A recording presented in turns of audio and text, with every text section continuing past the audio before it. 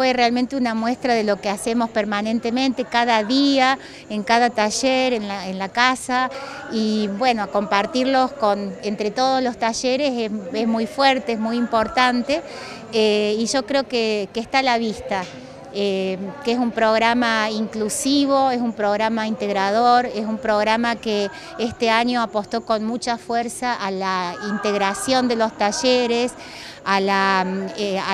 los eventos que vinculan a los talleres, eh, atravesado siempre por la idea del aprendizaje y la educación a lo largo de toda la vida que no excluye en absoluto la diversión, el esparcimiento, está todo junto, porque eso es la vida. En un contexto también difícil para las universidades nacionales, ¿qué significa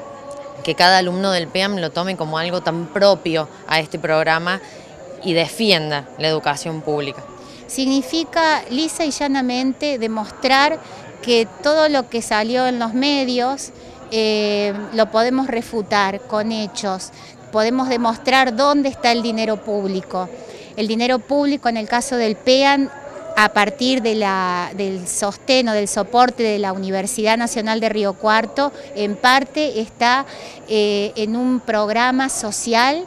que apunta a la calidad de vida, a la reinserción del adulto mayor en un eh, lugar transformador, creativo, pleno y en un eh, lugar también de educación hacia la sociedad para que se entienda que la vejez es, un estado y que la, la, edad avanzada no significa nada si uno tiene un lugar en el mundo como es este programa.